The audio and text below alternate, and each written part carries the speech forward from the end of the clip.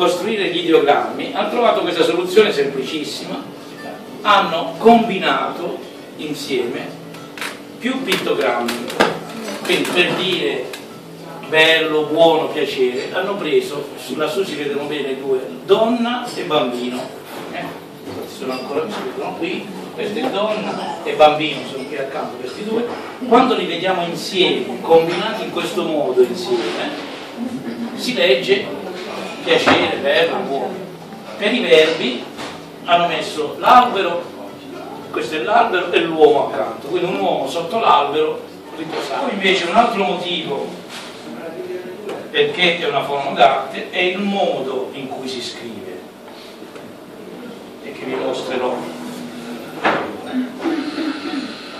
corteccia del vino viene bruciata la corteccia raccolta la fuligine e poi resa solida attraverso un amido si versa dell'acqua in una pietra apposta una pietra simile alla nostra lavagna in Liguria con un po' d'acqua questo bastoncino sì, il pelo è solitamente di capra, pelo naturale degli animali e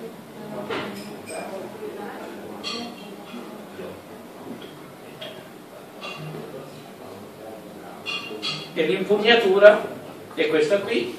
Il braccio è sempre sollevato dalla, dalla carta non si poggia in questo modo qua e utilizza il gesto decisivo.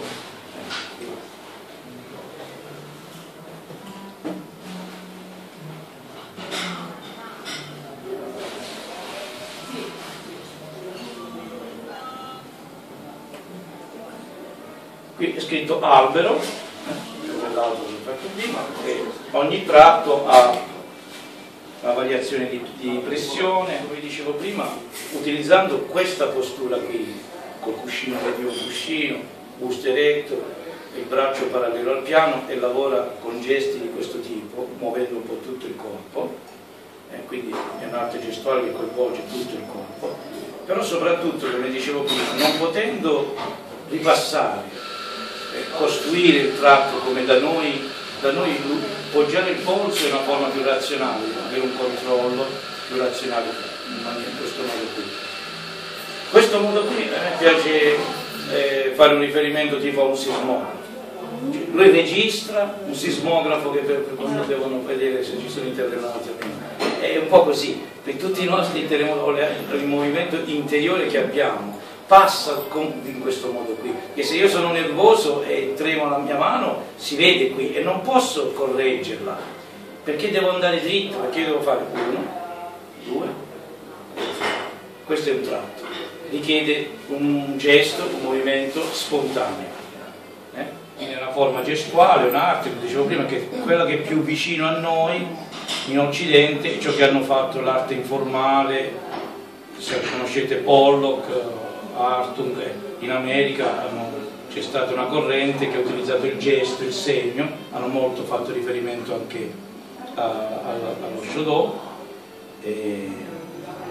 però la differenza è questa, che qui quello che noi scriviamo non sono dei segni completamente individuali, frutto di un, come per Pollock, quando lascia cadere il colore dal barattolo, crea delle forme completamente sue, individuali. Qui invece quello che creiamo noi ogni volta sono delle parole ben precise. Il calligrafo scrive alcune parole, due o tre, o una poesia,